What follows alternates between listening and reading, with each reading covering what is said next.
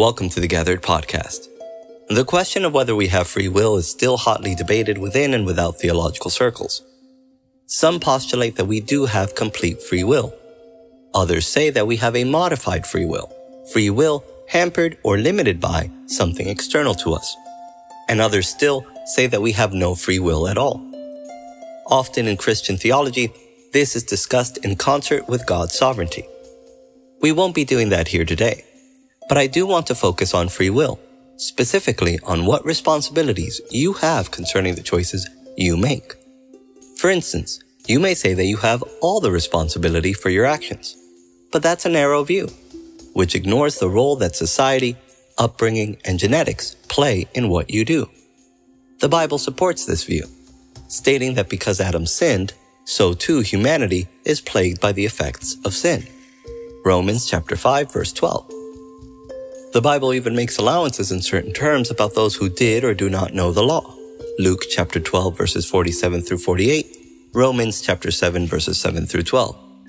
So we can deduce that God is aware that other factors affect our choices, good, bad, and in between. Are we then not free and thus not responsible for our actions?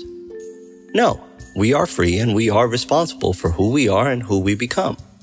What I mean by what I've stated before is that we are not responsible for the conditions, culture, and society we are born into.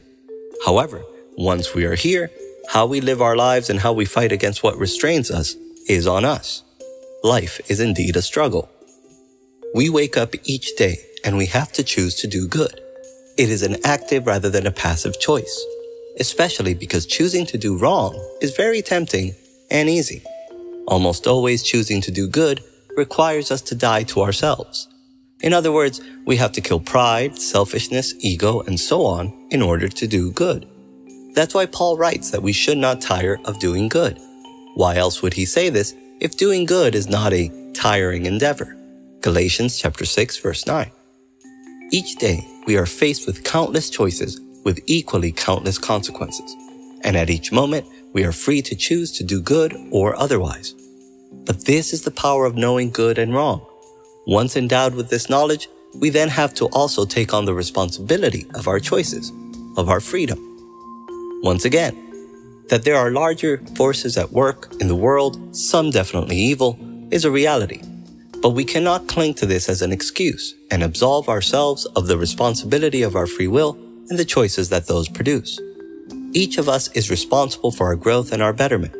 This is why the first step in our Christian walk is a free will choice. Do we accept or not accept Christ? The wonderful thing is that if we choose to accept Him, Christ provides a solution for this dilemma. Christ asks us to take on His burden while He takes on our own. In other words, our concerns should be to live as God wants us to live, loving our neighbor and loving Him. Christ will then take on the world.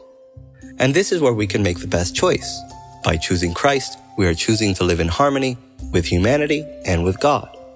We are choosing to receive help from the Almighty in being the best human beings we can be to be as Christ-like as possible. Christ does not absolve us of the responsibility of our actions and choices, but rather he liberates us to make good choices. He takes care of us so that in turn we may take care of others. In other words, when we are in Christ, we are in peace and not conflict. And that is the key to the whole matter. We have the free will and the responsibility that comes with it to make the choices we want to make. And while this means that we certainly can make good choices outside of Christ, in Christ, the ability to make good choices rises exponentially, for we are following his schema. And that is what I want you to take away from this. Yes, you are responsible for your actions and to some extent where you are today. It is an important step to greater spiritual growth to accept this. However, rather than see this as a reason to be upset or to fear the responsibility, quite the opposite. It means that we have the ability to change our predicaments, our future, and with Christ, we have a help, a guide, and a friend to do so. Do not shirk off your responsibility for your life, but rather embrace it, and together with Christ, own it for the better. Thanks for listening. I'm Pastor Elvis, and we'll talk again soon.